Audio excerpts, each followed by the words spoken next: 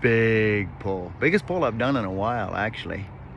You need to get a hold of that back weight somehow. Yay, yay, yay, yay. There's those maple limbs on our way up. Okay. Now, let's go in and make that smaller. All that back weight. I'm gonna pull it over with this truck. Boom. Let's do this. Coming!